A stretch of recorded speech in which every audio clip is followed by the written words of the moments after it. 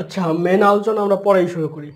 শুরুতে বলি, আজ পর্যন্ত কে কে কতবার স্মৃতিসৌধে গেছি বলি তো হাত তুলি আচ্ছা হাত তুললে তো লাভ নাই, নিচে কমেন্ট করে জানাও যে কে কে এই পর্যন্ত স্মৃতিসৌধে গেছো। এবং স্মৃতিসৌধের ওই যে স্মৃতিস্তম্ভটা মানে যে মনুমেন্টটা চোখা যে মনুমেন্ট সাতটা স্তম্ভ দিয়ে তৈরি করা, ওই জিনিসটা দেখে কার কি মনে হয়েছে?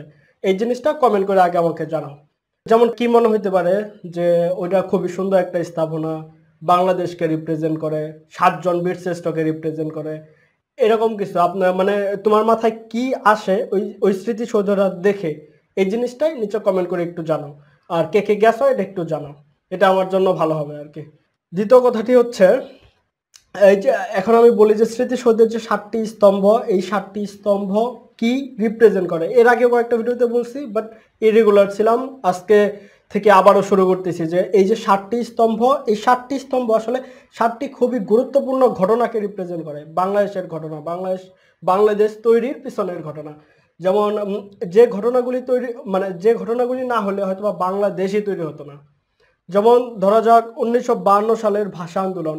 স্মৃতিসৌধের যে সাতটা স্তম্ভ আছে, সামনে থেকে দেখলে বোঝা যায় না। যদি তুমি পাশ থেকে দেখো স্মৃতিসৌধকে, তাহলে দেখবে যে সাতটা স্তম্ভ মিলে স্মৃতিসৌধ। এই সাতটা স্তম্ভের যে সবার নিচে প্রথম স্তম্ভটা, সেটা আসলে রিপ্রেজেন্ট করে উনিশশো সালের ভাষা আন্দোলনকে। ভাষা আন্দোলন নিয়ে আমরা সবাই জানি, তারপরে ভাষা আন্দোলন নিয়ে অনেক ভিডিও আছে এই চ্যানেলে জেনে নিতে পারো। এই, এর পরে যে স্থাপনাটি আছে দুই নম্বরটা দুই নম্বরটা রিপ্রেজেন্ট করে উনিশশো সালের যুক্তফ্রন্ট নির্বাচন। যে নির্বাচনটি আসলে খুবই গুরুত্বপূর্ণ, যুক্তফ্রন্ট নির্বাচনে অংশগ্রহণ করেছিল মাওলানা আব্দুল হামিদ খান বাসানি শেরে বাংলাকে ফজলুল হক হোসেন সৈয়দ সোহরাওয়ার্দীর মতো বাঘা বাঘা রাজনীতিবিদ। ওদের বুঝতে পারো, এবং বিপুল ভোটে এরা জয়লাভ করেছিল। এই যে যুক্তফ্রন্ট এরা বিপুল ভোটে জয়লাভ করেছিল। এটা নিয়ে আমরা পরবর্তী ভিডিওতে বিস্তারিত আলোচনা করব। তোমরা অবশ্যই এই চ্যানেলটি সাবস্ক্রাইব করে ওই ভিডিওগুলি দেখার জন্য চ্যানেলটি সাবস্ক্রাইব করে রাখো, এবং আমাদেরকে ইন্সপায়ার করার জন্য যাতে আমরা বাংলাদেশের ইতিহাসটা ঠিকমতো তুলে ধরতে পারি। হুম, এরপর স্মৃতিসৌধের তৃতীয় স্তম্ভ। তৃতীয় স্তম্ভটি রিপ্রেজেন্ট করে উনিশশো ছাপ্পান্ন সালের স্বাধিকার আন্দোলন।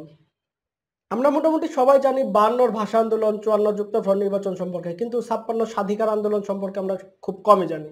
তাই ভাবছি যে এইসব জিনিস নিয়েও আমরা আলোচনা করব বিস্তারিত এই চ্যানেলে স্টেপ বাই স্টেপ একের পর এক হ্যাঁ? এরপর যে চতুর্থ স্তম্ভ, চতুর্থ স্তম্ভটি রিপ্রেজেন্ট করে শিক্ষা আন্দোলন, উনিশশো বাষট্টি সালের শিক্ষা আন্দোলন।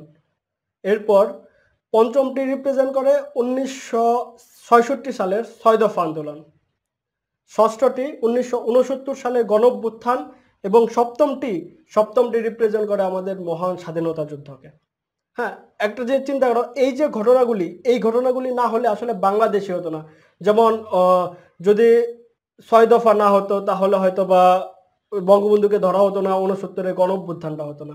গণ অভ্যুত্থানটা ওইরকম না হলে সত্তরের নির্বাচন মানে সত্তরের নির্বাচনটা এভাবে হতো না।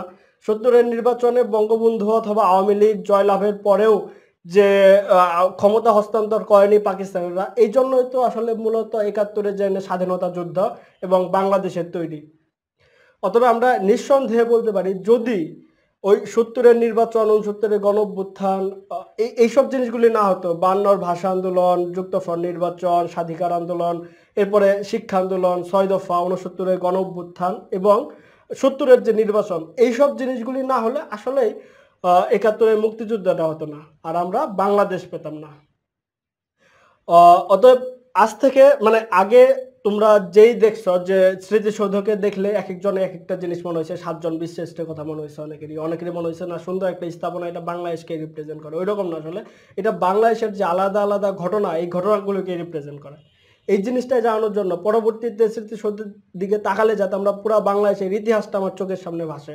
এই যে সাতটা স্তম্ভ সাতটা স্তম্ভ যে সাতটা গুরুত্বপূর্ণ ঘটনাকে রিপ্রেজেন্ট করে, এই জিনিসটা জানানোই আজকের ভিডিওর মেন উদ্দেশ্য। সাতটি ঘটনাগুলো আমি আবারও বলতেছি। বান্নর ভাষা আন্দোলন, চুয়ান্নর যুক্ত ফ্রন্ট নির্বাচন ছাপ্পান্ন স্বাধিকার আন্দোলন, বাষট্টির শিক্ষা আন্দোলন, ছয়ষট্টির ছয় দফা উনসত্তরের গণ অভ্যুত্থান এবং একাত্তরের মহান স্বাধীনতা যুদ্ধ। এই সাতটি ঘটনাকেই স্মৃতিসৌধের যে সাতটি স্তম্ভ, ওই সাতটি স্তম্ভ ওই সাতটি ঘটনাকে রিপ্রেজেন্ট করে। আমরা এই সাতটি যে ঘটনা, এই সাতটি ঘটনা নিয়েই আলাদা আলাদা এপিসোডে আলাদা আলাদা বিস্তারিত আলোচনা করব। অতএব তোমরা অবশ্যই চ্যানেলটি সাবস্ক্রাইব করে রাখো এবং তোমাদের এই সাবস্ক্রাইবারই আমাদের ইন্সপায়ার করবে নতুন নতুন করে ভিডিও বানাতে। অতএব আমি তোমাদের রিকোয়েস্ট করতেছি সাবস্ক্রাইব করো শেয়ার করো বন্ধুদের সাথে এবং তাদেরকেও জানাও আমাদের বাংলাদেশের ইতিহাস। তো ভালো থাকব সবাই, আমাদের জন্য দোয়া করব, আমরা জানি সঠিক তথ্যটাই দিতে পারি। আসলে আমাদের ইতিহাস নিয়ে ওরকম সঠিক সঠিক ইনফরমেশন পাওয়াটা টাফ আমরা খুব খুঁজে খুঁজে বের করে করে চাচ্ছি যে তোমাদের ভিডিও বানিয়ে বানিয়ে দিতে। অতএব তোমরা আমাদের সাথেই থাকো ইনশাল্লাহ আমরা পারব। দোয়া করো আমাদের জন্য। ভালো থাকো সবাই। আসসালামু আলাইকুম। ধন্যবাদ সবাইকে।